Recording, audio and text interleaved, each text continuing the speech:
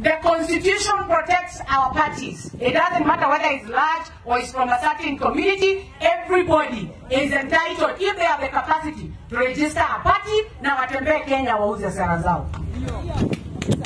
Ya pili, it is that we, the House of Mumbi and Agikuyu, tumekubali kujireduce to be beggars, political beggars, because we lack what we call unity of purpose. When today you talk about a few of our brothers and sisters who have, have been lucky to form political parties, the biggest question should be, wape wale wale wengine ambao wako na vyama zao.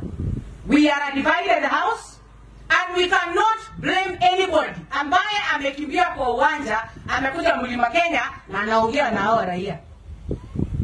Nasema hivyo because we should not perceive any party leader a threat to the existence of our parties because our parties should be driven by our ability to come talk to our people, convince them, and make them rally behind the agenda our political parties are fronting.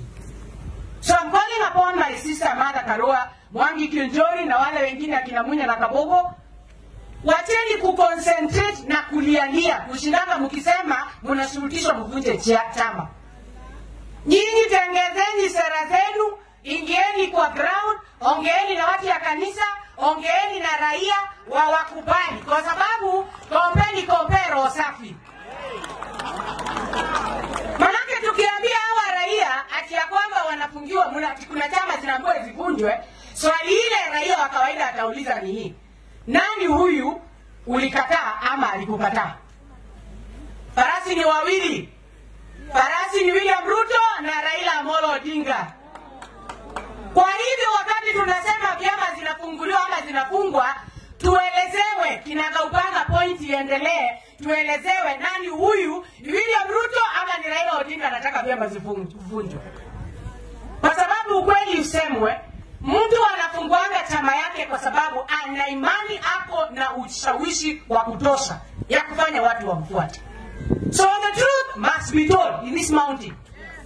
Wewe uko na chama yako, haki yako. Hata mimi nitafungua yangu inaitwa ya Masegui na ama ya Masingolea, tuko wengi pia. Masingolea ni wengi by choice ama kukutana na mataabu ya hii dunia, ama ni aje? Si ni namna hiyo eh? Tuko wengi hii dunia, but the point should be this which I don't want us to miss 87 saying that he does not want to be party with any person who has a political party is William Samoei Ruto with his party in UDA. So the question is, mtu anasonga ugali yake ile itatoshea watoto wake, ikibaki anaweza pea mgeni ama mtu wa jirani anapita. William anasonga ugali yake. Tafadhalini tusonge yetu ya mlima, mkishindwa mtaonea kitu kwa view sasa imepita na William Ruto asubuhi. Hiyo ni ukweli ya mambo, tusidanganyane, truth be told.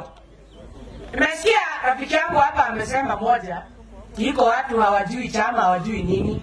I'm very clear, na hata nirudie hii.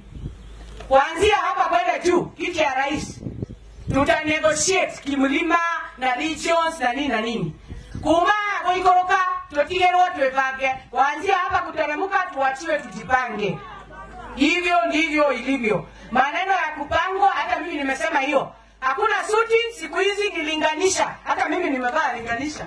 Hapana vaa suti. Suti ni ya madairasi hapa namna gani? Yeah so i have said let's move from the narrative of saying that tunasukumiwa tuvunje vyama. Kama tali hakutaki watu kujilazimisha kwake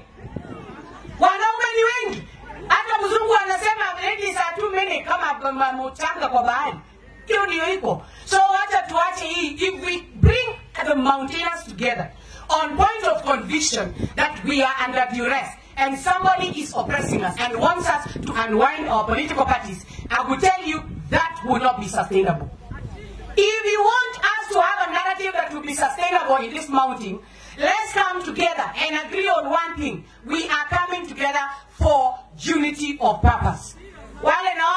tunaambia rais akina Kanini Kega huko hapa, mwache kudanganya Uhuru, ground ni mbaya na raia wanaumia, wanaumia. Hiyo ndio kweli, raia wanaumia. Nasema hivyo kwa sababu iko mabroka, ukipigiwa simu na Uhuru na Zulula ukiambia watu niliongea na Uhuru jana usiku, kama mliongea